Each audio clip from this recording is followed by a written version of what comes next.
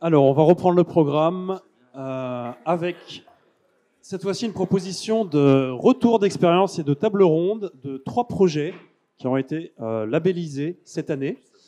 Et je laisse la parole à Pierre-Yves Lechon qui va animer ces échanges avec nos trois invités. Merci Xavier.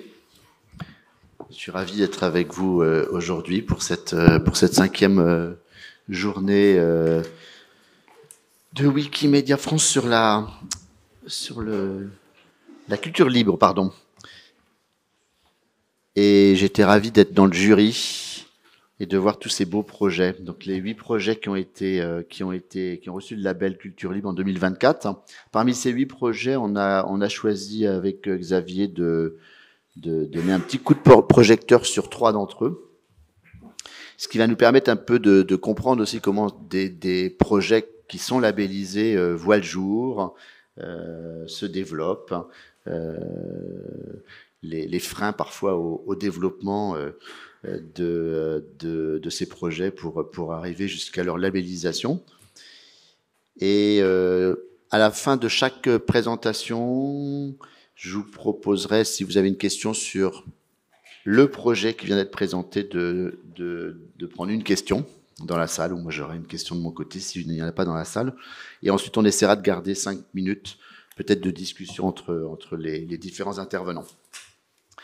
Donc les trois projets sur les huit qu'on va vous présenter, c'est le projet de l'Université de Toulouse, qui a eu le niveau argent, le du musée d'art et d'histoire de Saint-Brieuc, niveau argent aussi, et celui du château de Montsereau, euh, le musée d'art contemporain, qui a reçu le, niveau bronze. Et je vous propose de démarrer tout de suite avec euh, l'université de Toulouse, donc, qui a obtenu le niveau argent ce matin. Et j'ai tout de suite donné la parole à Marielle Mouranche, qui est conservatrice générale des bibliothèques, et Hugo Lopez, Wikimédien, en résidence pour 15 minutes de, présentation. Merci. Merci. Je vais commencer. Euh, donc, le, le, SICD vous a été présenté tout à l'heure, mais donc euh, KESACO, le SICD, euh, c'est le service interétablissement de coopération documentaire de l'Université de Toulouse. Alors, quand on a dit ça, eh bien, on a, n'a toujours pas compris ce que c'est. Euh, donc en fait, c'est après la, transformation de l'ancienne bibliothèque interuniversitaire en plusieurs services communs de documentation rattachés divers, di, directement différentes universités, euh, il s'est ressenti le besoin, de toute façon c'était euh, même dans les textes officieux, officiels, pardon, euh, d'un organisme qui euh, met en œuvre des actions mutualisées pour garder euh, une certaine coopération entre ces différentes bibliothèques. Donc avec deux axes au, départ, euh, la gestion de l'informatique documentaire, qui ne nous intéresse pas aujourd'hui, quoique, et la gestion des collections anciennes et précieuses. Et aussi la formation continue et la formation à l'information scientifique et technique. Donc un réseau d'environ 60 bibliothèques. Alors, donc, je vais rapidement présenter le patrimoine écrit des BU toulousaines. Euh, il est particulièrement important, enfin, dans le domaine universitaire, euh, puisque bon, le patrimoine euh, dans les bibliothèques est concentré principalement dans les grands établissements et dans les bibliothèques municipales, mais aussi et on en trouve dans les bibliothèques universitaires euh, de province, pour employer une expression que le, on n'a plus l'habitude d'utiliser. Donc c'est lié à l'histoire de l'université de Toulouse à partir du 19e siècle, notamment euh, l'existence d'une faculté de théologie protestante de Montauban euh, qui faisait partie de l'université, qui maintenant disparue, la séparation de l'Église et de l'État, des achats importants et aussi des dons. Ce patrimoine a été constitué principalement dans la première moitié du XXe siècle. Alors, en quelques chiffres, il y a d'abord les collections gérées directement par le service du patrimoine écrit du SICD, environ 56 000 volumes anciens rares ou précieux. Ancien a été défini avant 1815, euh, répartis dans cinq bibliothèques et trois universités donc surtout de l'imprimé, aussi quelques manuscrits, documents iconographiques, éphéméras, bon, comme dans beaucoup de bibliothèques. Donc vous avez là les chiffres. euh, qui indique que euh, le gros des collections est conservé à l'université Toulouse-Capitole, qui est une, une, université sciences sociales, mais qui a des collections avec une dominante droit, religion, histoire et archéologie. En fait, au niveau de l'université, les deux points forts sont assez peu vendeurs, euh, quand même, le droit et la religion. Euh, mais il y a aussi des fonds anciens dans d'autres établissements, par exemple l'école vétérinaire, euh, où le SCCD a une mission de conseil, et d'énormes collections du 19e siècle qui ne sont pas toutes reconnues comme patrimoniales, environ 140 000 volumes. Alors, quelques images sélectionnées. Alors, j'emploie le mot image à dessin. Donc, je ne vais pas vous détailler. Euh, bon, vous avez euh, quand même euh, le plus ancien document, un opinable, un album euh, d'aquarelle aquarellé sur des papillons. Enfin, le c'est très varié. Alors, ils n'ont pas été totalement euh, sélectionnés au hasard. c'est pour représenter les trois universités et aussi dans un souci esthétique pour le guide des fonds anciens que je pourrais peut-être laisser quelque part si ça intéresse quelques personnes. Mais pour être tout à fait honnête, l'image n'est pas le point fort euh, des collections. Hein, la plupart ressemblent plutôt à cette sélection, et encore, je n'ai pas eu le temps de chercher les plus austères. Euh, donc, euh, comme je disais, beaucoup de droits, de religion et de documents concernant l'enseignement universitaire. Mais beaucoup de ces documents sont rares et même parfois uniques. Alors, depuis 2002, euh, euh, une partie des collections ont été mises en ligne, ce qui est assez tôt. Euh, la enfin, oui, les bibliothèques étaient assez pionnières en la matière. Bon, c'était assez rustique au départ. La première bibliothèque numérique a été créée en 2007 et la version actuelle fin 2016. Donc, je ne m'étends pas pour la présenter. Euh, donc simplement de dire qu'elle euh, fonctionne euh, principalement par le biais de corpus, de collections thématiques liées ou non à l'histoire toulousaine, enfin liées parfois à des recherches universitaires, notamment pour droit et sciences politiques, archives des préhistoriens, et elle a la caractéristique non seulement de rassembler des documents de trois universités, mais aussi ponctuellement des documents de la Bibliothèque municipale de Toulouse, de l'Institut catholique, euh, du Muséum et également d'une association. Alors, le chemin a été quand même assez long, je dois avouer, pour l'adoption des licences libres, puisqu'au départ, quand je suis arrivée, il y a longtemps, longtemps déjà, en 2002, euh, les documents n'étaient ni téléchargeables, ni euh, imprimables. Bon, c'est des temps préhistoriques. Donc ça, ça a été tout de suite résolu. Euh, en 2014, j'ai proposé au directeur des différents SCD d'ouvrir les collections et de faire d'adopter la réutilisation libre et gratuite des images pour tous usages, y compris commerciaux. Donc, en général, c'est là où ça blesse. Mais il n'y a pas eu de précision de licence puisqu'il y avait petit désaccord sur les licences à adopter et que moi, à l'époque, bon, je me disais ce qui compte, c'est l'intention. C'est pas vraiment euh, de avoir une licence après.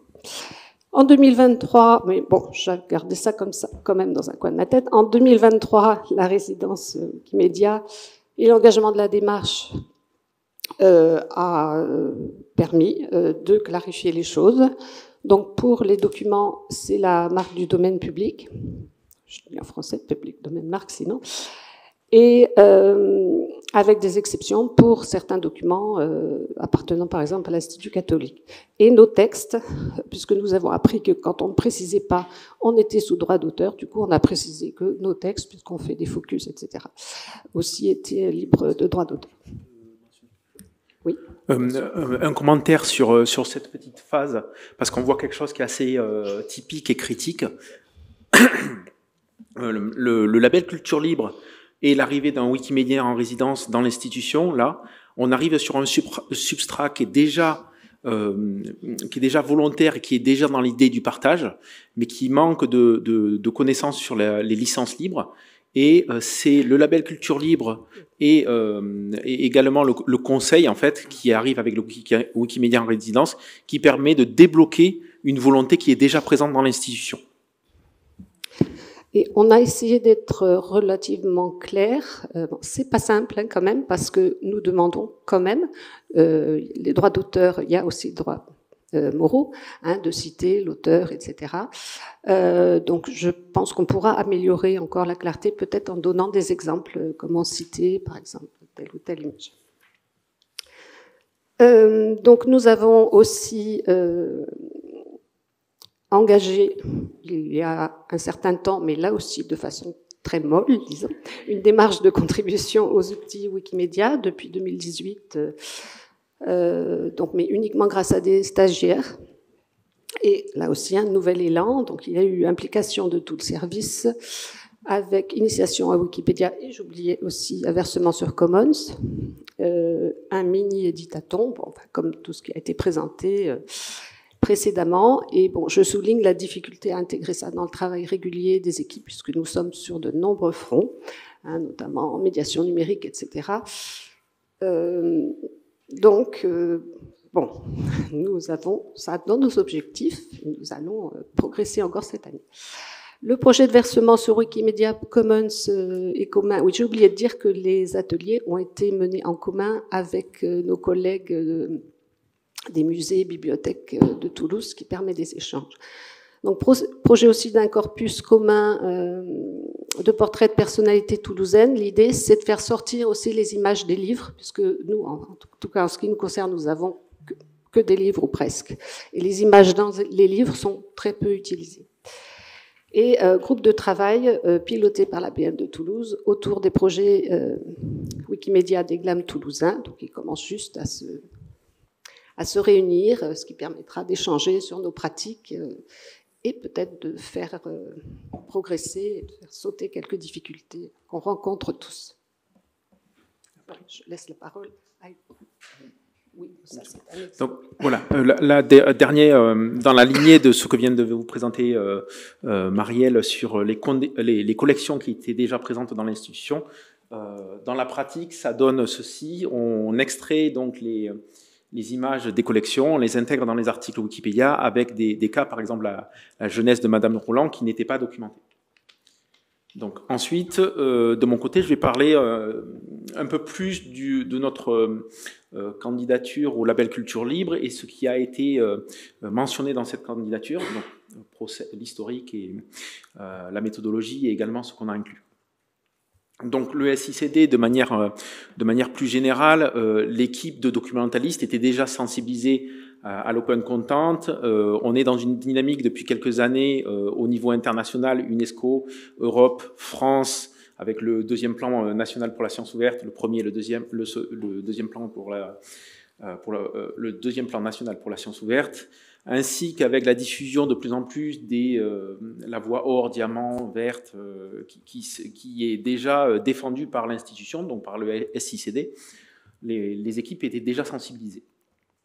On a vu, évidemment, on a, eu l'information et on a vu passer la labellisation des équipes de l'année précédente, donc 2023, ça nous a intéressé, en fait ça a intéressé l'institution et il y a eu ensuite du coup, euh, par, euh, par, Amélie Barriot notamment, qui surveille le champ, euh, a permis l'arrivée d'un Wikimédien en résidence à Toulouse, financé par le ministère de la Culture, avec Wikimedia France qui a servi d'acteur charnière, et les universités et les URFistes, donc les unités régionales de formation à l'information scientifique et technique, qui sont présents sur l'ensemble du, euh, territoire.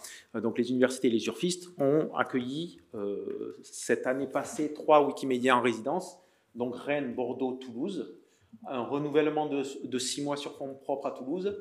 Et trois nouveaux Wikimédias en résidence qui, qui ont soit débuté, soit vont débuter, sous peu, et qui permettent d'accompagner le changement, d'accompagner cette adoption des, des licences ouvertes et des, euh, des pratiques un peu plus euh, licences libres.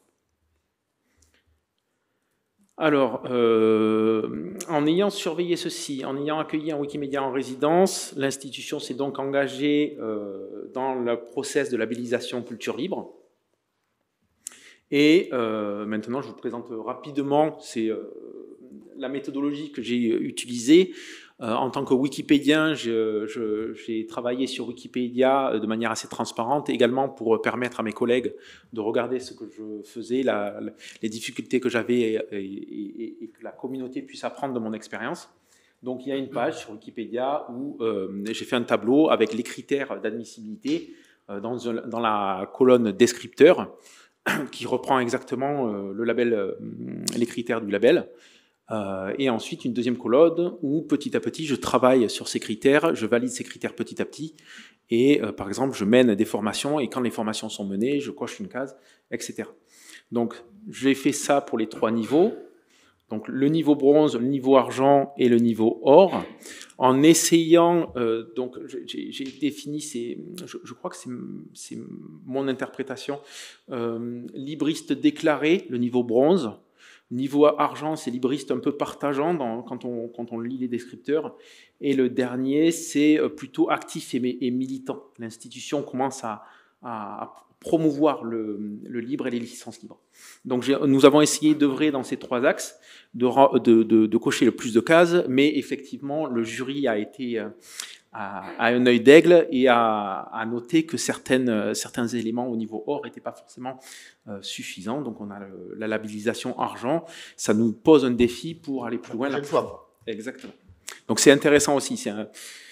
C'est on est un peu partagé, mais euh, c'est intéressant aussi pour le développement euh, des pratiques dans l'institution. En termes d'actions qui sont entrées dans cette labellisation, il y a eu toute une série de formations, dans, principalement vers euh, les doctorants. Les, mes deux publics principaux, c'est les doctorants donc de l'Université de Toulouse, qui, euh, qui, se familiarisent à l'écriture sur Wikipédia via des ateliers de, de, de 3 à 6 heures.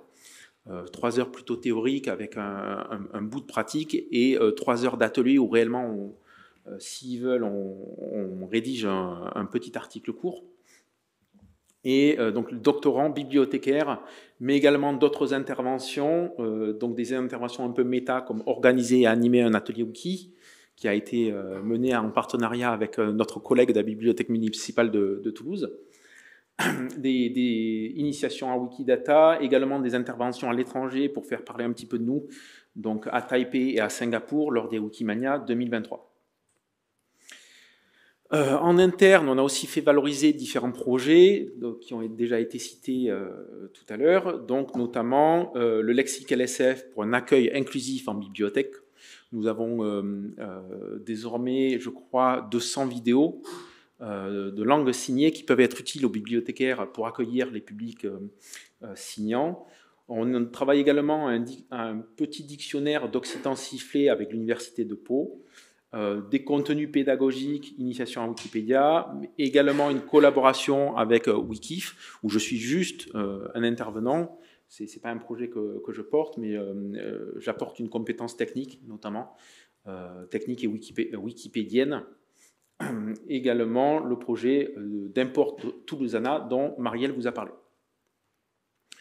En chiffres, euh, je, fais attention à, autant. Euh, en chiffres, euh, c'est sur un an, sur un peu plus d'un an, c'est 40 ateliers présentiels, à peu près 300 personnes formées. Formées, c'est les personnes qui éditent Wikipédia, qui réellement et qui ont suivi une formation avec de l'action. J'ai également fait à peu près 25 présentations ou actions en distanciel où l'objectif est davantage dans l'information plutôt que de la formation. Euh, un point intéressant aussi, euh, que ce soit avec euh, la Wiki Résidence ou avec le label Culture Libre, c'est que ça nous permet d'aller vers les institutions avec le badge label Culture Libre ou le badge Wikimedia en résidence, et ça ouvre des portes de manière beaucoup plus facile que lorsqu'on est simple, simple bénévole de l'association. Le fait d'être Wikimedia en résidence ouvre et d'avoir une labellisation en cours facilite énormément les interventions. Euh, je signale également, à côté de ces initiatives qui étaient très terrain, euh, le SICD et euh, Amélie Barriot, et, ainsi que notre directrice, se sont mis, en mouvement pour adhérer à différentes, à, différentes initiatives en faveur de l'open content. voilà, c'est un autre axe qui est important pour l'institution et la culture libre. Pour aller plus loin, je cite quelques points ici. Donc, euh, notamment, nous avons reçu le label, niveau argent. Et euh, je, pense que euh, c'est une bonne analyse du, jury, évidemment. parce que si on a beaucoup de bonnes intentions, de début d'initiative, ça manque un peu d'intégration réelle dans les fiches de poste. C'est ce qui nous a été mentionné. Donc il y a davantage de choses à faire de ce côté-là. Et euh, il y a d'autres points également dont je ne parlerai pas parce qu'on n'a plus beaucoup de temps. Et euh, voilà, on, est maintenant aux questions ouvertes. Très bien, merci, merci d'avoir respecté le temps. Merci de, dévoiler comme ça les coulisses. On voit que, déposer, candidater pour un label culture n'est pas une simple formalité, mais c'est un réel engagement de libriste, comme vous vous, appelez, vous vous nommez. Euh, merci de, de, nous avoir raconté, euh, raconté cette histoire. Est-ce qu'il y a une question euh, de la salle sur ce projet en particulier? Deux mains qui se lèvent. Bonjour, merci pour cette présentation. Amélie Cherche de Sorbonne Université.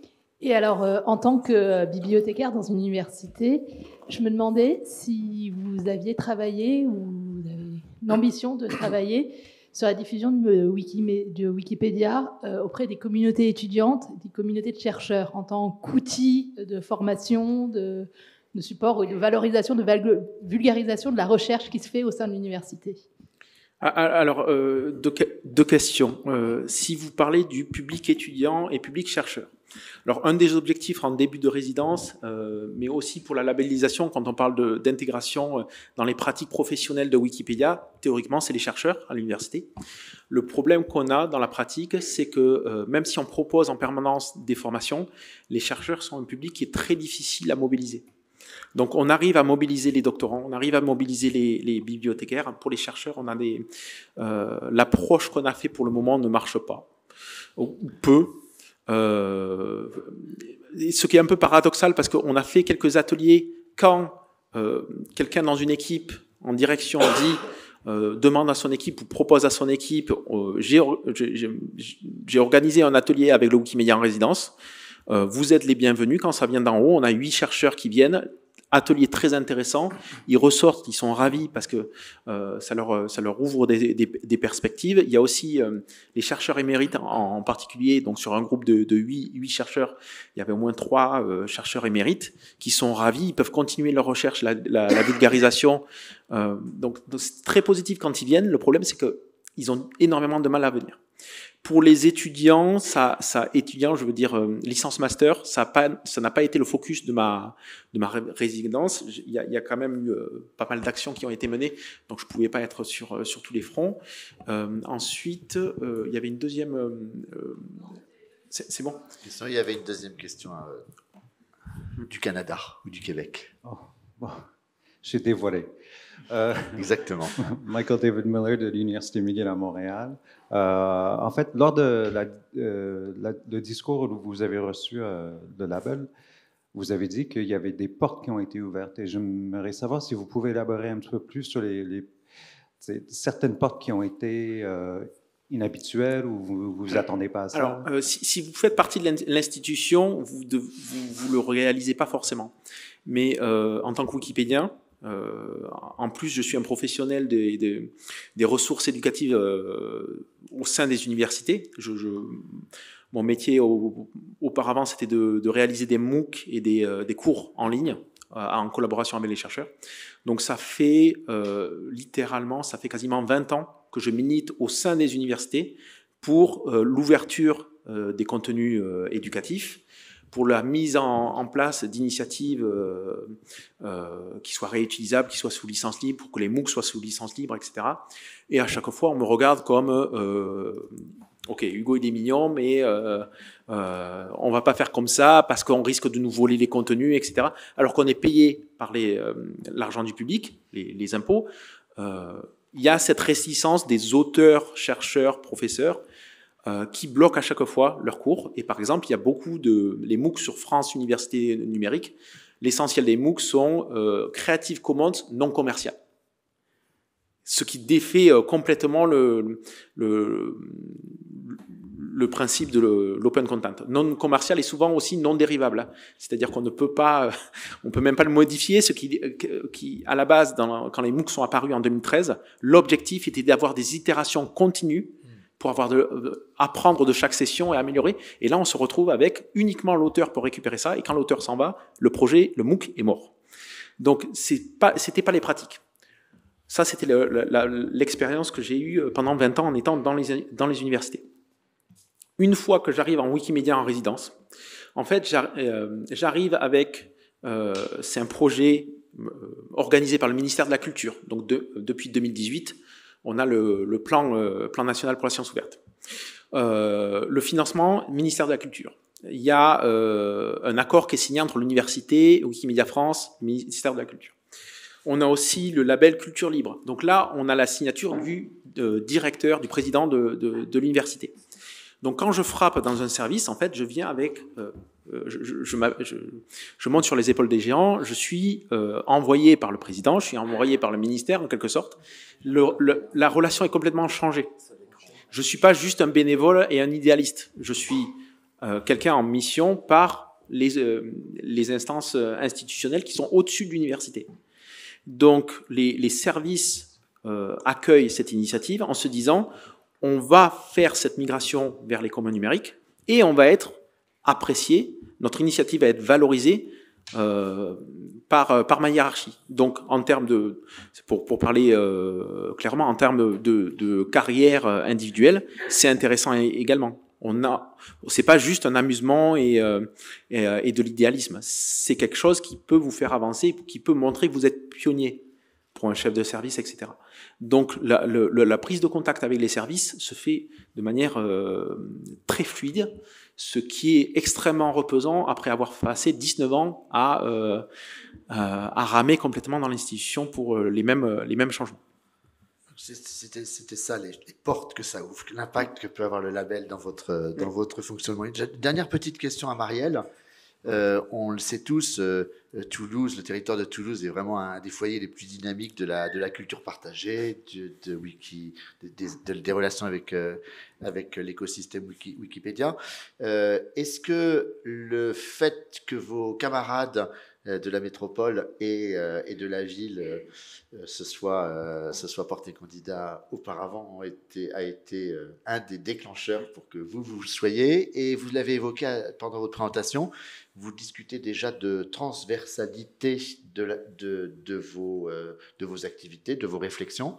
Est-ce que vous avez déjà des, des, idées de projets communs qui pourraient être faits entre euh, les bibliothèques universitaires, les musées et la bibliothèque euh, municipale ou métropolitaine de, de Toulouse. Alors oui, le label, les labels ont compté, mais là je dois rendre hommage au musée Saint-Raymond, qui est quand même bon, la référence et euh, il y a eu hein, il y a eu beaucoup euh, aussi de journées d'études etc qui ont parlé euh, du coup de ce que de, la collaboration enfin du travail qui pouvait être fait dans Wikimedia Pédia, par les institutions au départ enfin donc ça remonte assez à loin. Oui, pour la collaboration, bon, alors ce n'est pas très simple d'avoir des projets euh, communs euh, parce que bon, les institutions sont différentes, etc. Mais on va essayer de transcender tout ça. Euh, donc on a notre petit projet test déjà hein, sur les portraits des Toulousains. Et ensuite, donc même si on n'a pas des projets vraiment communs, mais qu'il y ait une concertation, euh, des discussions, euh, une émulation, euh, c'est très important. Ça crée aussi une dynamique du coup pour, pour, pour, développer et amplifier, et du coup est candidaté pour, pour le niveau supérieur. Hein. Mm. Merci beaucoup. Merci à, à vos deux interventions. On va passer de l'Occitanie à la Bretagne. on va aller, euh, on va aller à Saint-Brieuc, donc musée d'art et d'histoire hein, qui dépend de la ville de Saint-Brieuc, qui a obtenu aussi le, niveau argent dans le label Culture Libre. Et je vous propose d'écouter Nicolas Poulain, chargé des collections au musée, qui va nous expliquer un petit peu comment on en est arrivé euh, à, à l'obtention de ce label. Voilà. voilà. Euh, merci. Euh, voilà, donc j'ai intitulé cette présentation euh, pour, un musée ignorant. Euh, avec un petit clin d'œil à, Jacques Rancière et, son, ouvrage Le Maître ignorant. Et du coup, c'était mettre ce titre, c'était placer ce qu'on fait autour de Wikipédia dans le spectre des, des interactions qu'on a avec nos publics et dans la manière dont on envisage la la co-construction, mais comment on réfléchit à la manière dont se construit la connaissance et que du coup, ce qui se passe au sein de Wikipédia et euh, est un point d'intérêt sur la manière de construire la connaissance. Donc on travaille avec différents groupes, mais euh, du coup euh, les Wikipédiens pas parmi d'autres. D'où je parle? Je parle de, de quelqu'un qui s'intéresse au logiciel libre, à la culture libre depuis, depuis un certain nombre d'années, avec des contributions sur différents projets. Enfin, je pense que ça fait écho aux, trajectoires personnelles à un moment donné, et l'importance qu'ont ces trajectoires personnelles dans les, dans les projets. Donc avec des, euh, des, expériences qui ont été menées euh, maintenant il y, a, un certain nombre d'années, dont euh, des, journées professionnelles avec, cette question de, il, y a, maintenant un petit peu plus de dix ans de comment on pouvait s'intéresser professionnellement à, Wikipédia à une époque où, c'était vu comme, le mal absolu en termes de, connaissances. Donc des premières expériences menées ou qui avaient été restituées dans un article dans la lettre de Gossin, voilà, lequel je vous, renvoie si, si, besoin et envie.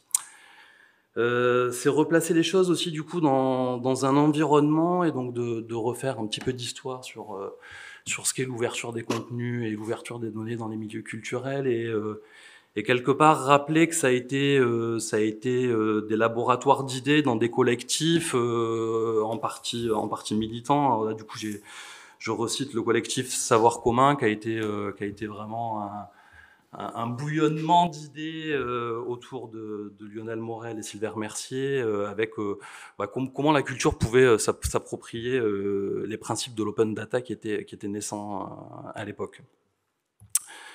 Avec un certain nombre d'initiatives qui étaient plus, ou moins médiatisées, mais donc là je, refais un clin d'œil au, calendrier de la vente du domaine public, où du coup il y avait cette démarche de faire la liste des, des auteurs qui s'élevaient, donc on a commencé à parler de s'élever dans le domaine public plutôt que de tomber dans le domaine public, et donc ça, ça a resté des aventures ben, et, collectives et en même temps qui ont commencé à donner une, une place médiatique au, au, à ce sujet. Euh, les quelques jalons rapidement, enfin on les partage, on les partage maintenant tous plus ou moins, que ce soit la place du, du RIS Studio ou en effet les, projets qui ont été menés euh, à Toulouse, euh, qui, restent, enfin qui ont été en tout cas des, des, des, guides et des inspirations pour, tous ceux qui ont tenté des choses dans ce sens-là. J'aime toujours rappeler cette citation d'Aurélie Filippetti dans, un discours en 2012, hein, ministre de la Culture à l'époque. Hein, donc qui, posait déjà euh, cette pierre de dire le savoir accessible sur Wikipédia est en perpétuelle construction et peut bénéficier pleinement de l'expertise du ministère. C'est pourquoi nos établissements sont invités à leur tour à consolider, à enrichir ou à rectifier s'il y a lieu les données figurant sur Wikipédia. Euh, qui en même temps était euh, plein, pleine de bonne volonté, mais euh, à, l'époque avec l'absence totale de, de cadre dans dans lequel intervenir. Euh, quelques mots sur le musée d'art et d'histoire de, Saint-Brieuc, donc un musée de société. Enfin, du coup, ce qui, euh, ce qui, le, ce qui le replace quand même dans cette, euh, dans cette dynamique de relationnel avec les, avec les publics et, enfin, donc avec la volonté de, de s'emparer de des questions sociétales et en tout cas d'envisager le musée comme un comme un lieu de débat et donc ce qui ce qui, ce qui nous positionne dans, certains rapports à la connaissance. Euh, et des questions, des questions très très très concrètes et matérielles. Hein, quand on parle de d'ouverture des données ou de mise à disposition des contenus, c'est euh, c'est aussi avoir des, des, pratiques professionnelles techniques. Euh, donc je signale ici un, équipement logiciel métier euh, en 2010, donc c'est enfin, ce qui est relativement euh, tardif dans, dans, dans, le paysage des musées, et un début des démarches d'ouverture des données en, en 2015. Euh, quand je positionne donc un, un, musée de société, un musée de société qui s'interroge sur la participation des publics, donc je mets ici, euh, je mets ici quelques quelques photos euh, d'expériences qu'on mène. Donc sur la première photo, vous avez un, un, un éditaton, un éditaton alors qui euh, euh, qui réunit euh, des Wikipédiens, qui réunit une partie de l'équipe du musée, qui répartit des, des, gens qui sont passés par là, et qui réunit aussi les amis du musée. Donc ça, c'est des jonctions qu'on a euh, qu'on a essayé de faire, qui ont plus, ou moins prises, mais en tout cas, c'est cette question de, par exemple, d'amener les amis du musée sur les questions de contribution, c'était quelque chose qui, qui, nous intéressait dans leur implication. Vous avez une deuxième photo sur, euh, sur la manière dont on s'emparait de, de Muséomix à, à Saint-Brieuc, et donc euh, notamment le fait de, de mélanger des professionnels euh, dans un dispositif participatif avec des gens du territoire, et donc, notamment on a un peu élargi Muséomix, non pas à la seule question de la médiation, mais à la question des thématiques que pouvait traiter le musée. Donc, enfin, au musée, on a, on a un certain nombre de réflexions sur ce que peuvent être les angles morts historiques, donc ce qui, euh, dans l'histoire que retrace le musée, les, les, choses dont on ne parle pas, dont on ne veut pas parler ou dont on ne veut pas qu'on parle. Et, donc, Muséomix nous, nous a permis de travailler sur ça. Vous avez sur la photo d'après un, atelier, euh, un atelier avec les amis du musée où on travaille euh, concrètement sur les collections avec eux, donc c'est-à-dire qu'ils font euh, du nettoyage ils participent au nettoyage de, plaques de verre, à leur conditionnement, et puis petit à petit on les a amenés sur de la numérisation, puis sur de l'indexation, puis puis sur des recherches, et donc on, on partage le fruit de ces recherches avec eux. Vous avez un, le slide suivant, euh, qui, qui, qui, est un autre projet d'implication des publics qu'on mène, euh, qui est un travail avec un, avec un collectif, euh, collectif plutôt, c'est un collectif qui s'intéresse aux questions de genre dans, dans les musées, de, in fine euh, plutôt, plutôt orienté féministe, et qui nous accompagne du coup et qu'on qu mobilise euh, sur certains projets pour avoir leur point de vue. Et vous avez, euh, vous avez une dernière photo sur euh, sur un projet d'exposition qui s'est adossé à, à, un travail de résidence de recherche en, en sciences sociales où on a travaillé euh, pendant deux ou trois ans avec des, euh, avec des anthropologues. Et c'est une autre manière de tisser des liens avec les publics hein, et du coup de donc là un travail sur sur l'histoire sociale et sur l'histoire d'une grève, et donc de voir comment on, ben, inclut les gens à travers l'anthropologie dans, euh, dans la conception ben, du discours et du parcours d'une exposition une autre forme de, participatif, de fait, c'est après le travail, après le travail sur cette grève, la volonté d'acquérir euh, pour les collections du musée euh, ce bas-relief qui fait qui fait 12 mètres de long, donc enfin financement financement participatif sur euh, sur un objet qui représente les, les différents aspects d'une grève, c'est euh, c'est pas ça. Hein. Bon, voilà, je, l'ai mis au titre du participatif, de fait, hein, du participatif de fait. Euh, tout ça pour positionner, euh, enfin pour, pour expliciter euh, du coup la manière dont on, considère les publics. Et du coup, j'aime bien toujours revenir à la définition du musée qui n'a pas eu lieu. C'est la définition avortée du musée qui pourtant euh, portait un, un, certain nombre de choses. Hein. Donc, ce que j'ai surligné ici, des lieux de démocratisation inclusifs et polyphoniques, dédiés au dialogue critique sur les passés et les futurs, l'égalité des droits et l'égalité d'accès au patrimoine. Bon, voilà, on sent dans les projets Wikipédia ce qui fait, euh, ce qui fait écho à ces ambitions-là. Des musées qui sont donc participatifs et transparents et qui travaillent en collaboration active avec et pour les diverses communautés. Et euh, donc du coup, enfin ça, dans, dans ce, que j'évoquais par rapport à, à, la construction des connaissances, hein, c'est aussi du coup travailler avec ces communautés, voir comment elles construisent de la connaissance et euh, par rapport à nos pratiques, euh, nous, nos pratiques professionnelles, euh, qu'on peut dire académiques aussi. Et, et, donc on a, on a plutôt des bonnes surprises quand on, euh, quand on s'intéresse euh, ben, à ce qu'on peut appeler les savoirs situés. Donc on, on s'aperçoit que en fait c'est euh, c'est extrêmement constructif pour, pour le musée de, de s'intéresser aux, différentes manières de construire l'histoire. Donc du coup, ça, on, essaye de voir comment, comment on peut construire du musée, euh, du musée avec ça. Euh, J'en arrive sur une deuxième partie, donc qui plus, euh, qui va être un petit peu plus, un petit peu plus technique sur, sur qu'est-ce qu'on fait autour de, de l'ouverture des données, l'ouverture des contenus. Donc avec un bilan au musée de Saint-Brieuc en 2014 avec euh, très peu de données publiées, donc la question du numérique est, un peu en, jachère, et avec le constat euh, rapide de pratiques qui ne respectent pas le droit de la propriété intellectuelle. Donc je, je remets toujours, j'aime bien revenir au à l'arrêté municipal d'utilisation et de tarifs euh, d'utilisation des images liées aux collections du musée, parce qu'il y, a une série de une série de petites perles en termes de, de copie fraude, donc d'entorse de, au, au, droit de la propriété intellectuelle, et puis avec une pratique qui était euh, totalement à l'avenant, donc c'est-à-dire qu'en fonction des projets, euh, la personne qui, faisait la facturation était plus ou moins généreuse. Euh, s'emparer du dossier, s'emparer du dossier, ça passe, euh, ça passe systématiquement. Ça, c'est un peu pour ceux qui ne se sont pas encore lancés, ou en tout cas ça, ça retrace pour ceux qui se sont lancés euh, quelque chose qui qu'ils ont dû expérimenter, qu'à un moment donné, aller sur ces questions-là demande, demande d'aligner une volonté politique, une volonté de direction et une volonté, une volonté enfin, de techniciens, ou en tout cas de gens qui vont, qui vont s'emparer du dossier un petit peu plus concrètement à Saint-Brieuc, euh, nous, euh, au-delà euh, de cet alignement de volonté, l'opportunité a été de rebondir sur ce qui existait déjà, et donc notamment il y avait des, délibérations qui existaient sur le sur l'open data, donc notamment quelque chose qui qui, s'appuyait sur la loi de 2016. Euh, donc qui, prônait l'ouverture des données sous forme numérique pour les collectivités de plus de 3500 habitants. Donc nous, nous, ça nous a, ça nous a il y avait un cadre, un cadre dans lequel on pouvait, on pouvait commencer à construire des choses. Et des compétences en interne, ça a été, euh, ça a été hum, à Saint-Brieuc, en tout cas, c'est passé par, euh, à un moment donné, une collègue, une collègue qui rentrait de formation en propriété intellectuelle. Donc, euh, ça aussi, en 2015-2016, la propriété intellectuelle dans les collectivités territoriales, c'était quelque chose d'extrêmement complexe. Donc, voilà, donc ça, ça a été une occasion de, de s'emparer du sujet. Euh, peut-être ce que j'ai pas, euh, ce j'ai pas insisté, c'est euh, le musée de Saint-Brieuc, c'est un très petit musée, donc c'est une équipe de 7, 7 8 personnes, tout, tout compris.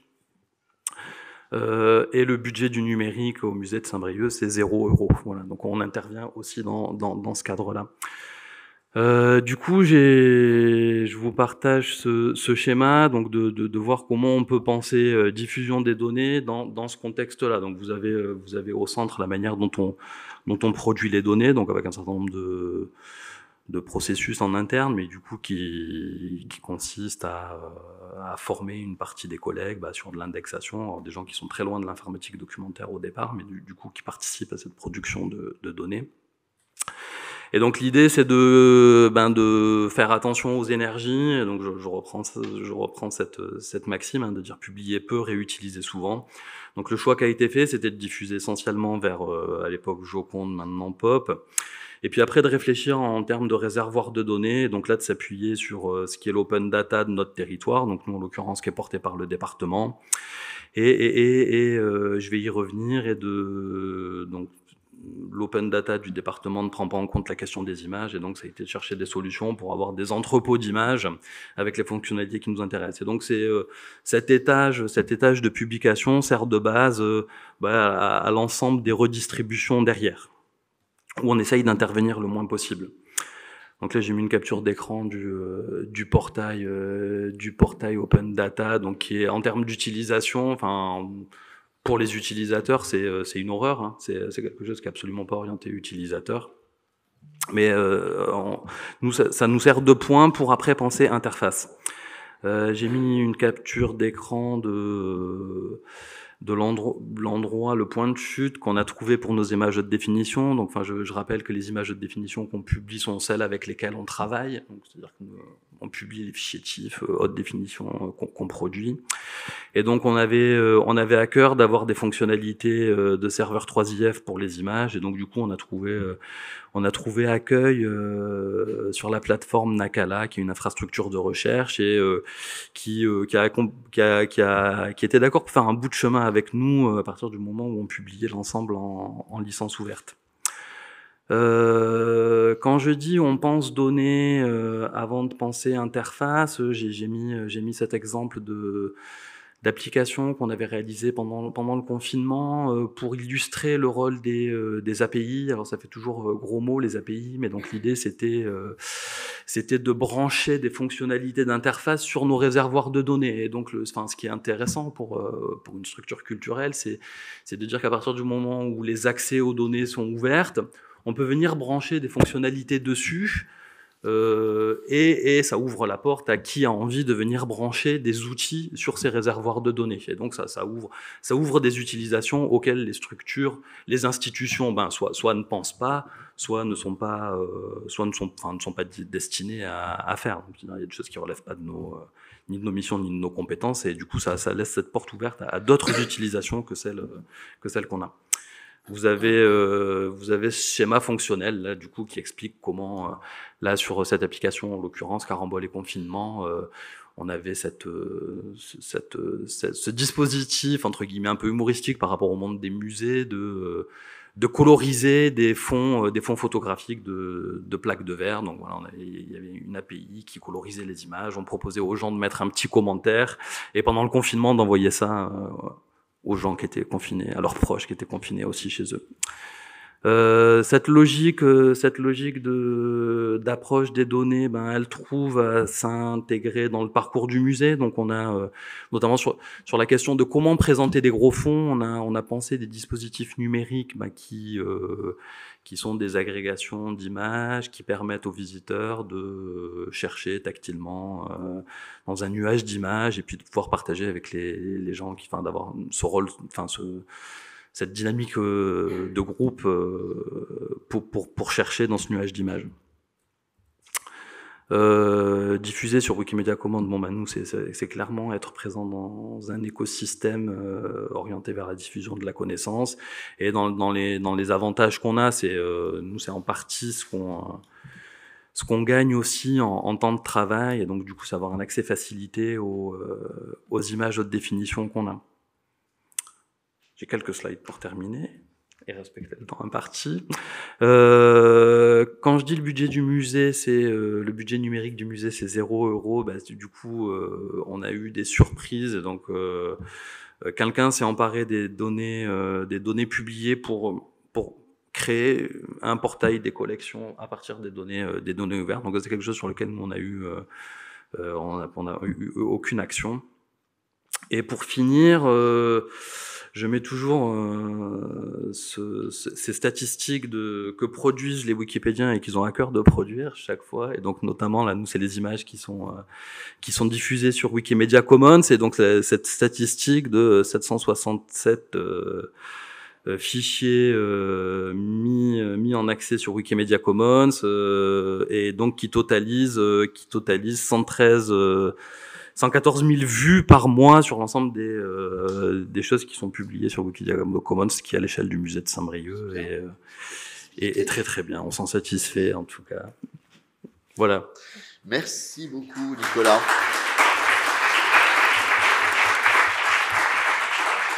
Je vais peut-être poser une, une question. Euh, euh, S'il y a une question et avec une réponse rapide de Nicolas, une question dans la salle. Et s'il n'y a pas de question, j'en aurai une. Alors, pas. Alors, ah, Est-ce que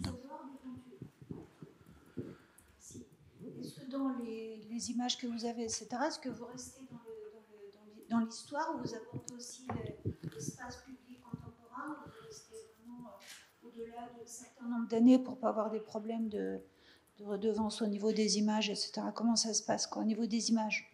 Pas, public. pas non. au niveau des images, mais quelle vision vous avez exactement?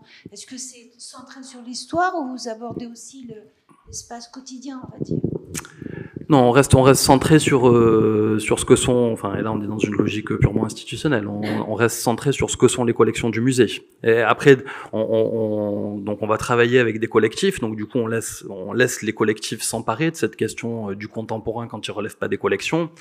Là, par exemple, quand on travaille sur les euh, sur les mouvements sociaux dans les années 70, du coup, nous nous il y a ce qu'on constitue en termes de collection et qui du coup on met tout en place en termes de droit pour que ça puisse euh, arriver sur euh, sur les les différents sites Wikipédia, ben, que, ça, que, ça, soit constitué en tant que contenu ouvert de manière générale. Et après, on accompagne les gens s'ils ont des démarches personnelles par rapport à des documents personnels ou euh, voilà. Mais nous, on n'intervient pas sur le, enfin, sur le contemporain en tant que tel s'il relève pas de la constitution des collections du musée. Alors j'ai une petite question euh, pour, pour Nicolas. Euh, tu, as, tu as dit que quelqu'un avait fait votre portail des collections euh, par, par l'intermédiaire de votre API, et ça veut dire que vous, euh, vous, vous, vous n'avez pas de portail des collections?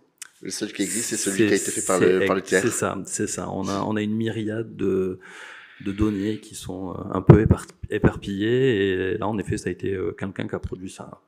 Et vous travaillez avec lui ou pas avec elle Non, non, c'est enfin c'est quelqu'un avec qui on a essayé de prendre des contacts. Ça, ça ressemble un peu à un projet, un projet de fin d'études. Euh, voilà, donc on, a essayé, avec qui on a essayé de rentrer en contact. du coup, on est intéressé. Pour le remettre dans, pour le remettre dans votre voilà, boucle, du coup. Il y a un certain nombre de choses qui sont bien vues, en tout cas qui respectent des, euh, la structuration des données, euh, le croisement des données, donc notamment euh, les liens entre Wikidata et, euh, et les données, enfin, et ce portail. voilà, ça, ça renvoie bien vers les différentes sources qui ont été utilisées. Donc, enfin, c'est plutôt un travail qu'on salue. Et, non, non, non, on n'a pas, on n'a pas d'espace pour dialoguer avec ceux qui l'ont fait. Bon, bah, c'est une belle forme de culture partagée. Que votre portail de collection soit pas fait par vous, mais par un tiers. Du coup, grâce à votre API. Merci beaucoup, Nicolas.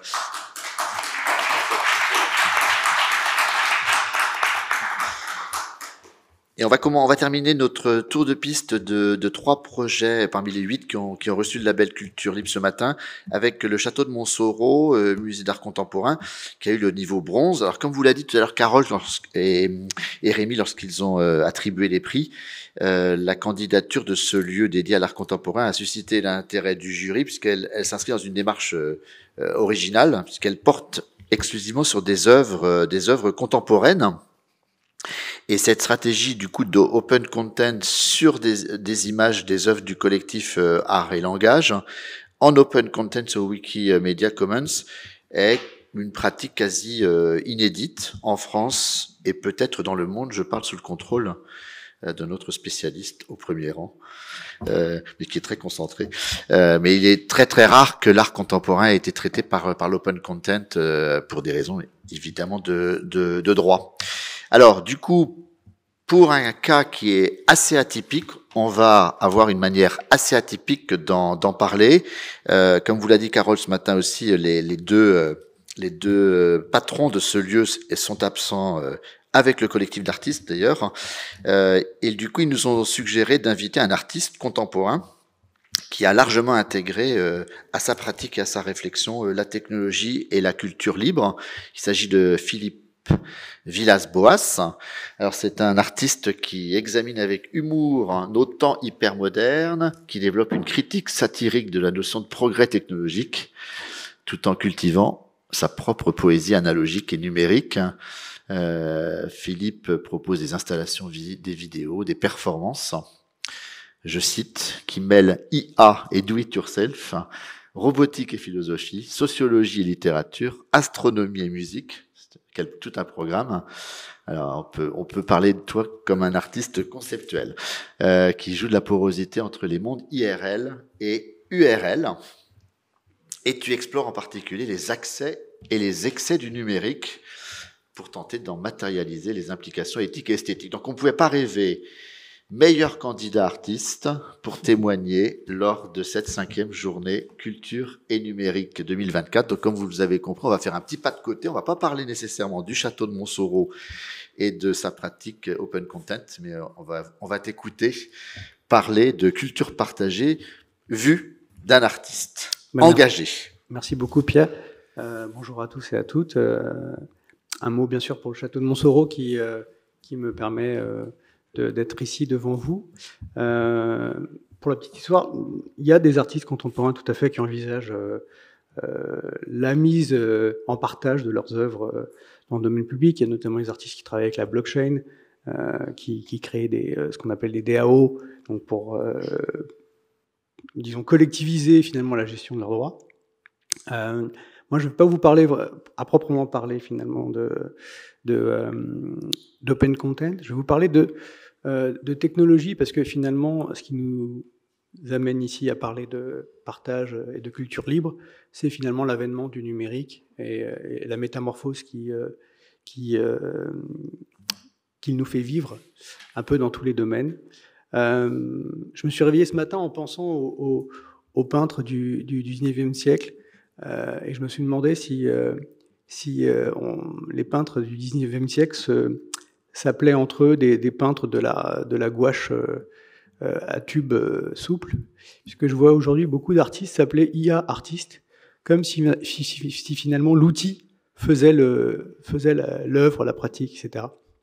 Bien sûr, c'est une boutade pour exprimer que euh, finalement le, le, transfert de technologie euh, dans le domaine de l'art euh, bouleverse les pratiques et, comme la gouache finalement a, a, métamorphosé la peinture et son contenu, le numérique, en particulier le web, a ouvert effectivement des accès et, et, a permis finalement de mettre en partage énormément de choses, pas que du contenu, euh, j'en parlerai à la fin sur, euh, le, cas particulier de ce que j'appelle les communs culturels, qui, qui, est un sujet aussi qui m'intéresse à titre de, de, président d'association. Je vais donc euh, vous présenter quelques cas de manière de, de mettre en partage qui, qui m'intéressent et qui peut-être peuvent faire écho à, à, des pratiques, on va dire, ouvertes, puisque c'est finalement le sujet du jour, euh, qui ne nécessitent pas forcément finalement euh, le même travail de, libriste, mais qui, dans la philosophie, s'inspire clairement de, ce qu'est Wikipédia aujourd'hui. Et euh, voilà, je, voulais, je vais vous montrer en particulier euh, plusieurs projets, et bien sûr, un premier projet qui est un projet performatif, un projet collectif. j'ai eu l'occasion de faire une exposition à Lisbonne sur le sacré et le numérique, et j'ai ouvert l'exposition avec une, performance publique collective où en fait je voulais aborder justement ce partage de l'espace public. Euh, Wikipédia est un modèle finalement de, gouvernance euh, collective. Euh, on a des contre-exemples, et moi j'ai tout simplement vu une opportunité typographique dans ce F en, y voyant une croix latine, et je me suis dit que ce serait intéressant d'aller le porter publiquement avec le public, d'en faire vraiment quelque chose de euh, de, performatif et de joyeux. En général, je mets un requiem de Mozart à fond et, euh, on se balade, euh, on se balade dans les rues. Je l'ai fait à Lisbonne, je l'ai fait en Allemagne, je l'ai fait en Espagne, je l'ai fait au Tate un mois après la première exposition au Portugal. Et donc, il y a cette idée de, si on partage le même espace public, et, je disais public et médiatique, parce que pour moi, c'est la même chose. Je regarde les problématiques numériques comme des problématiques d'espace public. Et, vous, en tant qu'institution, c'est intéressant aussi, finalement, de garder ces mêmes réflexes de, gestionnaire de, biens publics. Euh, je trouve ça précieux de réfléchir comme ça, y compris et surtout pour le web. Euh, on fait face à des problématiques de concentration de pouvoir extrêmement fortes. On a besoin d'avoir des acteurs publics qui sont conscients et réveillés sur le sujet. Euh, et donc ce projet-là est un projet public pour porter le sujet littéralement dans la rue. Euh, donc le partage de l'espace public et médiatique, le partage de la scène. Donc euh, moi j'initie la performance, mais après je, je, je, passe euh, la croix au public et finalement tout le monde est heureux de participer à ça.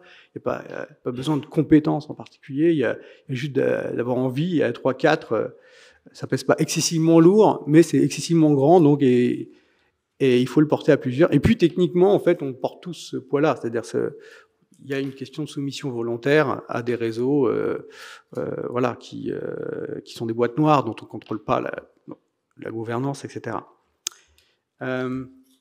autre exemple, le, partager la découverte. Alors j'ai essayé de décliner un peu, mais globalement il est question de partage de contrôle et de pouvoir, hein, mais je décline un peu dans les titres. C'est un projet qui s'appelle l'astrophone en français, où j'ai simplement relié euh, la roue, euh, trois siècles avant Jésus-Christ, à euh, l'algorithme, qui est une nouvelle roue, qui est une roue d'écriture. Et, et j'ai essayé de mettre en, main finalement la puissance de traitement massif des données en reliant cette, on va dire, une boîte à musique à un système, un algorithme de sonification où le cosmos en fait me sert de partition. Et ce sont les gens, ce n'est pas moi, moi, je mets juste des photos. Même parfois, je demande euh, au lieu qui m'accueille de, sourcer les photos des, astrophotographes locaux pour aller sonifier le ciel localement. Et ce sont les gens, le public, qui va prendre le contrôle, va chercher les, mélodies cachées dans l'espace. Alors, à chaque fois aussi, je m'amuse à changer les paramètres. Euh, et d'ailleurs, je, Peut-être je vous montrerai à la fin s'il reste un petit peu de temps, mais j'avais prévu une fenêtre pour vous montrer comment ça, comment ça marchait. Mais essayé d'aller vite parce que je préfère accueillir des questions. Euh, donc le partage de la découverte aussi, c'est un point de contrôle important. Euh, là, j'ai carrément utilisé le contrôle, tout simplement parce que c'est une œuvre euh, où, euh, m'intéressant beaucoup à, la technique et finalement à, son instrumentalité, euh, se pose la question de certaines technologies, de la légitimité de leur usage, notamment dans l'espace public, en particulier en ce qui concerne la reconnaissance faciale. Technologie jugée liberticide à, juste titre. Et, mais parce que le débat est polarisé sur la question des identités. Et on sait que voilà, la morphopsychologie, la classification des individus, toute cette histoire-là, finalement, euh, le bertillonnage, euh, euh, connu en France, c'est le début finalement de, l'eugénisme. Donc je pense que c'est un sujet clairement à mettre à la poubelle. Par contre, un visage, ce qui est intéressant socialement, c'est que c'est notre première interface. our face is our first interface, comme je m'amuse à dire dans la langue de nos voisins. Et donc, si c'est notre première interface, c'est intéressant de se dire que c'est notre notre euh, première manière de jouer finalement le jeu social. Or, si je suis capable d'analyser une émotion sur un visage en temps réel, je suis capable de changer de paradigme en art et de non plus créer à partir de mes émotions, mes histoires, mais créer à partir des émotions de, euh, du public. Et là, c'est un projet où euh, il y a une brique qui est de l'open content, qui est une brique de computer vision pour aller euh, comprendre quel est le, pourcentage de l'émotion affichée, que ce soit de la tristesse, euh, de la joie, de la colère, etc. Ensuite, je suis allé chercher toutes les partitions de piano disponibles en ligne. J'ai entraîné un modèle sur la, à composer du piano en temps réel, ce qui me donne une sorte de TSF Jazz euh, lambda. Et après, j'ai écrit un logiciel à l'aide d'un data scientist, je fais pas ça tout seul, où j'ai essayé de modéliser ce qu'étaient les émotions en musique. Là, c'est plus complexe et c'est aussi ce qui est le plus intéressant. Euh, euh, et, en fait, en essayant de faire cette modélisation, j'ai fait 7-8 itérations pendant un an pour finalement revenir à la version 3 simplifiée. Ça, c'est aussi intéressant. C'est-à-dire croit toujours qu'il euh, faut monter des fusées pour faire des choses chouettes. Pas du tout. surtout en data science, il faut, il faut, il faut être très droit, euh, être très efficace et pas du tout monter de, choses complexes parce que finalement on, perd la pertinence de ce qu'on réalise. Euh, et donc là, voilà, ça permet carrément d'inverser euh, l'histoire de l'art, c'est-à-dire que là, la, production musicale, ici vous voyez une, image d'une scénographie qui est juste un écran, on va dire, qui, avec lequel vous écoutez vos émotions, littéralement. Et puis, il y a d'autres versions où je connecte ça à un piano. Euh, certains pianos sont contrôlables en MIDI, comme vous le savez peut-être. Et donc, en fait, on peut carrément écouter directement sa, traduction émotionnelle euh, avec les vibrations du piano. Euh, autre exemple de partage, c'est le partage à la conception.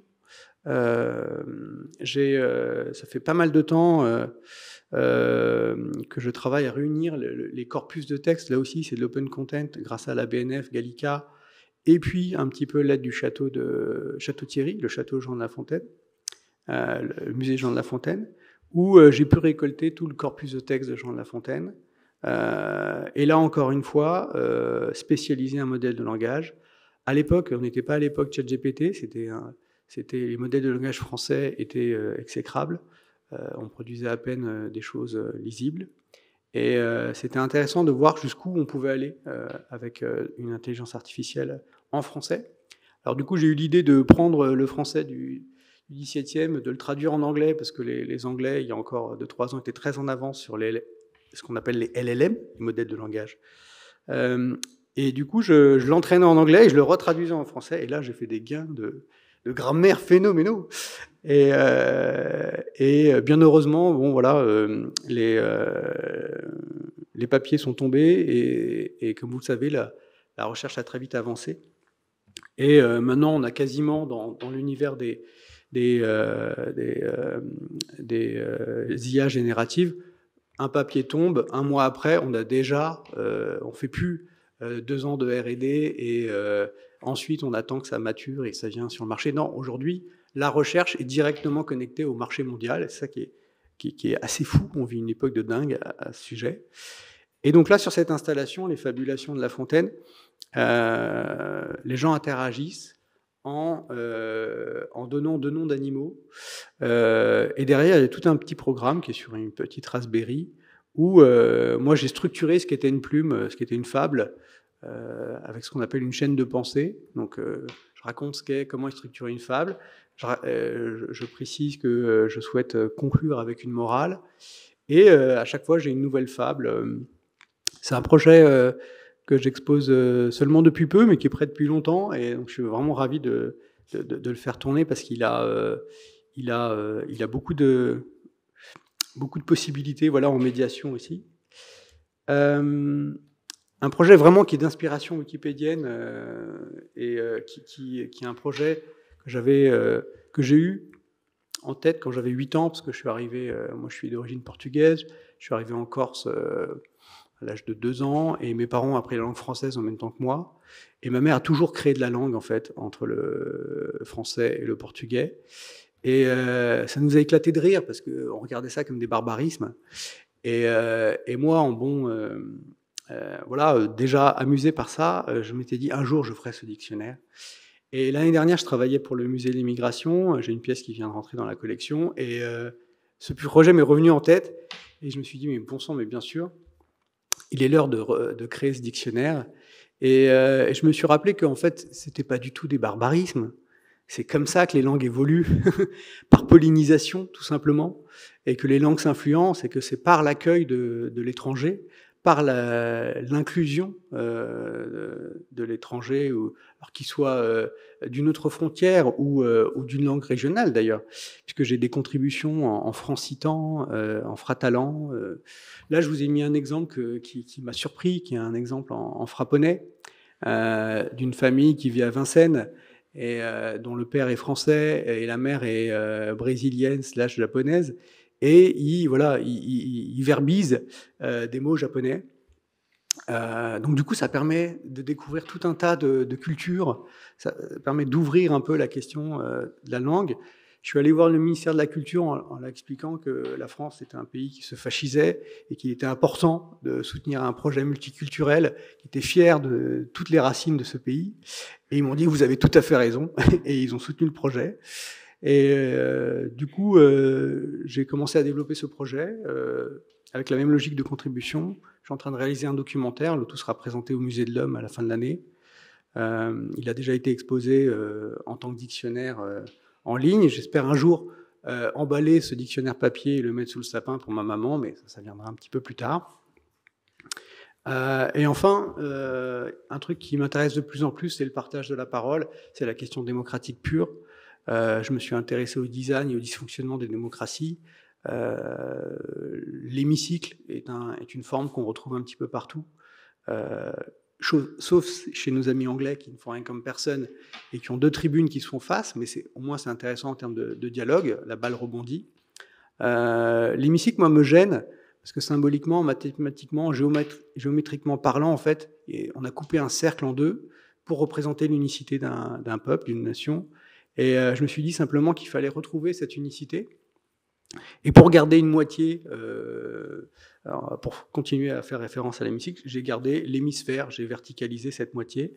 Et du coup, j'ai une, agora euh, ludique, un parlement ludique, qui est à bascule, tout simplement, et qui me permet de et qui me permet d'animer. C'est un banc public en fait. Euh, l'œuvre est initialement conçue comme une œuvre publique, elle le sera euh, très heureusement bientôt dans des cours d'école. Il y a des écoles qui m'ont demandé des copies de l'œuvre. Donc je suis vraiment, pour moi, c'est le summum en fait. Euh, je préfère être dans une cour d'école qu'au Palais de Tokyo, Largos, euh, parce qu'il s'agit d'accès en fait à, l'art. Il s'agit de, faire en sorte que que l'œuvre se plus et le mieux partagé, et je vois finalement toujours les mêmes publics finalement dans le milieu de l'art, je rencontre toujours les mêmes têtes, et euh, tous les efforts que je mets moi dans ma diffusion, c'est pour euh, faire autre chose que euh, le milieu artistique pur. Et donc je travaille avec notamment pas mal de musées, le musée des arts et métiers, dernièrement, beaucoup, bientôt le musée d'Orsay. Et, et, je, et, je, trouve là des publics plus variés parce que voilà, ils font, ils font venir des scolaires, ils font venir des publics que je ne croise pas dans les galeries, que je ne croise absolument pas dans, dans, les, dans les centres d'art contemporain. Et, venant pas du tout de ce milieu, je, je travaille à ça. Et, le projet est aussi devenu une, un, moyen de partager un espace de création supplémentaire, euh, puisque en voyant monter les gens dans, dans, la structure et commencer à générer leurs propres discussions, j'avais fait des ateliers d'écriture de constitution, notamment parce que quand on rentre dedans, on est tous dans le même bateau et on apprend collectivement à, remonter, à rehausser notre attention, c'est-à-dire que chaque mouvement de l'un impacte les autres. Et, euh, et, du coup, la gestion des corps de chacun m'a amené à penser que peut-être je pouvais faire en sorte que cette sculpture devienne une scène mouvante. Et donc, depuis euh, le début de l'année, je, réalise des résidences de recherche dans des théâtres euh, et un petit peu partout, bientôt au théâtre de l'épée de bois, à la cartoucherie, où j'invite d'autres artistes à, venir chercher la grammaire de ce, dispositif. Et on va créer ensemble de nouveaux projets. le projet en soi est déjà une œuvre, il va en accueillir d'autres. Et, et voilà, j'en avais d'autres sur le partage des idées. Euh, mais j'ai déjà assez parlé. Et si vous avez des questions, euh, je vous écoute. Merci beaucoup. Merci beaucoup pour ces, pour ces beaux projets, euh, effectivement, qui, qui incluent énormément la notion de, de partage hein, et de diffusion. Et je, suis censé, ce que tu disais, de, de sortir mm-hmm. notamment l'art contemporain des espaces où il est traditionnellement montré avec souvent les mêmes publics et, d'aller à la rencontre d'autres d'autres publics. Euh, je vais prendre une question d'un mais j'avais une question justement dans cette logique de diffusion. Moi, j'adore ton projet Fabulation de la Fontaine.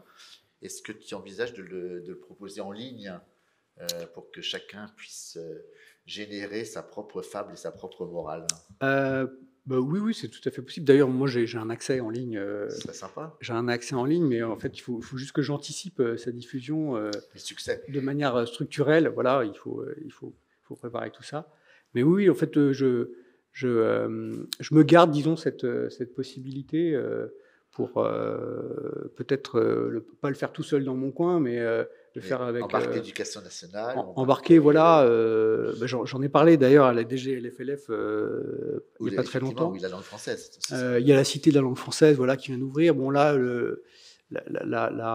l'ouverture vient de se produire, donc il faut laisser passer un petit peu de temps et puis.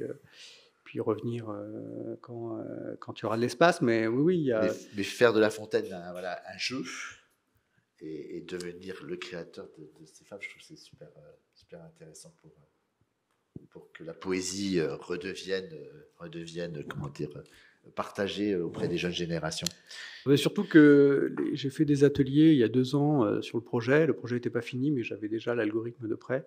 Et, du coup, je faisais à la fois des ateliers d'écriture en amont. On se choisissait deux animaux.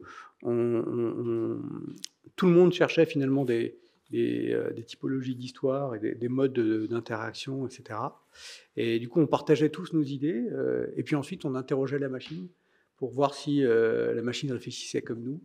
Euh, aussi pour la corriger, parce qu'à l'époque, ce qui était intéressant pendant tout le processus, en art, en art contemporain, surtout, disons, numérique, ce qui est plus intéressant, et je le fais de plus en plus finalement, c'est d'exposer et de travailler avec les étapes intermédiaires. Et à l'époque, je travaillais en atelier où, où je réintégrais les réécritures manuelles pour spécialiser mon modèle. Euh, en fait, plus euh, finalement on intervient manuellement, vous connaissez bien la chose, plus euh, on spécialise un modèle et donc plus l'écriture s'améliore. Une question avant le déjeuner? Oula, deux questions.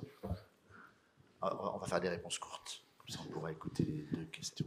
bonjour, je suis un administrateur du Wiktionnaire. Je suis très intéressé par le fusionnaire. Est-ce que non, mais ça, m'intéresse parce que la démarche euh, est, extrêmement rarissime et bravo déjà. Merci. Euh, mais est-ce que en tant qu'outil collaboratif, je vois qu'il n'y a pas de licence qui est associée. Euh, en tant que wiktionnariste, moi, ça m'intéresse de au moins citer ça si on retrouve des, des, des mots chez nous également. Mais euh, si on veut pouvoir l'archiver, euh, une licence libre pourrait nous aider à euh, identifier ces données. Est-ce que ouais. ça vous intéresse Oui, on peut, on peut discuter de, de, de ça. Moi, j'ai, j'ai pour ambition de, de commencer, enfin de, publier, de travailler avec des illustrateurs aussi, parce qu'en fait, là, je vous ai montré une définition euh, assez courte, moténéier, que, que j'adore, mais dans, dans, dans, toutes les, dans toutes les langues, euh, il y a... euh, y a ce travail déjà de, diffusion, d'aller chercher des communautés avec des langues peut-être moins usitées, etc. Et, surtout de, de, travailler à la, à la publication papier. Moi, je, ma mère est une geek quand même, mais euh, j'ai toujours ce projet de, d'éditer. Et donc, je voudrais me garder la primeur de l'édition avant de pouvoir euh, euh, bah, le mettre en partage. Parce que ce qu'a ce qu'a fait Monsoro avec finalement Art and Language, on le dit en anglais, euh, c'est une, euh, c'est possible, voilà, quand euh, le modèle économique, disons, de l'artiste ou des artistes est viabilisé. Art and Language, c'est euh, des artistes historiques de l'art conceptuel, donc ils sont à l'abri. Euh, moi, mon modèle économique, c'est celui du, groupe de musique. Je vis de mes droits de représentation, donc euh, si, alors pour le coup. Je dis ça, mais en réalité, je, vais commencer une expérimentation avec le groupe, peut-être que vous connaissez, des, la Fabrique des communs pédagogiques, avec laquelle euh, j'ai pas mal travaillé au début, euh, et qui maintenant s'intéresse à la question de la classe dehors, du point de vue des enjeux climatiques. Et, euh, et d'ailleurs, la première fois que j'ai monté ce projet, c'était à Poitiers, euh, pendant les rencontres internationales de la classe dehors. Euh, et il, a été question lors de la dernière assemblée générale de se dire bah, peut-être que moi je peux mettre les plans de ça en, en, libre et qui a les moyens de les, de les reproduire? Parce que en art il y a aussi la question du transport et de, et de l'impact écologique finalement du déplacement des œuvres. Moi il y a plein d'œuvres euh, que je reproduis tout le temps. Mais tout le monde me dit, tu es complètement fou, tu passes un temps dingue à reproduire des œuvres. Je dis, mais non, ma vie est beaucoup plus intéressante parce que je suis pas un livreur d'œuvres. Par exemple, j'ai une œuvre où je punis un robot euh, pour, euh, pour rire un peu de ce, mythe de la créature qui échappe au créateur. Je le mets en train d'écrire des, lignes euh, type les lois d'Asimov. et ça fait sept ans que j'expose ce robot un peu partout. Et quand on me demande, je dis toujours, mais est-ce qu'on peut regarder s'il n'y a pas un, professeur, un laboratoire, une université avec qui on pourrait collaborer? Le robot est là, on a juste à trouver une table. Moi, j'ai déjà 15 versions de code. On, repasse 2-3 mois sur la, sur la chose. En fait, on applique la philosophie maker, qui est un peu la mienne. Moi, j'ai pas d'atelier. Tout le monde me dit Ah, on peut venir à ton atelier? J'en ai pas. Mon atelier, c'est mon bureau, c'est mon ordinateur et les Fab Labs. Je, préfère mille fois, finalement, être euh, ouvert, euh, dans un environnement ouvert et public. Et de plus en plus, mes productions, je les envisage plutôt en atelier. Euh, ouvert au Fab Lab, parce que moi j'y vais, j'en profite en tant que citoyen. Alors quand je parle de Fab Lab, je parle vraiment des, lieux ouverts, hein. je ne parle pas des lieux où il faut payer pour accéder à un ordinateur ou, à une découpeuse laser. Je parle des Fab Labs municipaux. Euh, et, euh, voilà, donc euh, la question de l'ouverture et, euh, et, du modèle économique, c'est une question que, qui est en débat euh, pour, pour, toujours, je crois. Mais euh, je pense que les artistes qui peuvent envisager ça, c'est parce qu'ils ont par ailleurs des sources de revenus euh, euh, voilà, qui, font qu'ils peuvent payer leur crédit et leurs factures. moi, je, voilà, je suis à un stade intermédiaire où ça se passe bien, je vis de mon art, j'en suis ravi, mais j'ai besoin de, voilà, de, de, me conserver la primeur des choses avant de pouvoir les, les ouvrir. Merci pour votre honnêteté. Euh, il y avait une deuxième question. En termes d'open source, est-ce que Wikipédia et Wikimedia vous apportent quelque chose d'essentiel? Ah mais bien, bien, entendu, puisque euh, je, je, je, travaille avec des modèles de langage euh, dont le contenu a été scrappé essentiellement sur Wikipédia. Donc, euh, ce qui est intéressant aujourd'hui, il y a une sculpture à La Rochelle, je ne sais pas si vous connaissez La Rochelle, euh, il y a une sculpture le long, long du port, euh, le nom de l'artiste m'échappe et, ça devrait pas. Euh, c'est une sculpture où il y a plein de petits bonhommes, les uns au-dessus des autres. On, voit juste leur tête et ils sont en train de lire euh, des livres. Mais en fait, les livres sont sculptés comme sortis du crâne des, têtes qui sont en dessous. Une espèce de, de, de métaphore de la transmission de la connaissance. et ce qui est intéressant aujourd'hui, c'est de regarder euh, ce qu'on qu'on est capable de faire, alors avec Wikipédia, c'est-à-dire avec des, avec des libristes, avec des gens qui sont passionnés, qui sont capables de mettre en partage euh, des symboles et du langage, euh, ça, ça permet petit à petit, et bien avant finalement depuis la création, le dessin, l'écriture, l'imprimerie, le web, et finalement la, la, mise à disposition de ces données, enfin la mise à disposition côté Wikipédia, mais ce qu'il faut savoir, il y a quand même des petits, euh, petits entrelacs juridiques. Euh, il y a des procès toujours en cours euh, aujourd'hui à San Francisco sur la question notamment des images. beaucoup d'artistes se sont plaints de, de retrouver finalement leur, leur, production dans des générations dites random. on a encore cette question à, à, à trancher, mais moi, ce qui m'intéresse aujourd'hui, c'est que euh, avec finalement le numérique, avec la, constitution de commun, on, arrive euh, à, faciliter finalement la remontée des connaissances aux prochaines générations. Et c'est tout le projet de Wikipédia repose là-dessus, c'est-à-dire comment on, on, perd pas le fil et comment on transmet au mieux euh, de la donnée qualitative revue par les pairs et, et fiable. Alors, je voulais juste euh, finir en, reprenant la, les trois catégories qu'Hugo Lopez a, a, présentées dans, dans, dans, ses slides. Euh, le libriste déclaré, le libriste partageant et le libriste militant, en, juste en soulignant que quel que soit le, niveau de label, je crois qu'on est tous, vous êtes tous des, libristes militants et qu'on est tous des libristes militants. Euh, je voudrais remercier nos, nos intervenants, Marielle, Hugo, Nicolas et Philippe. Merci.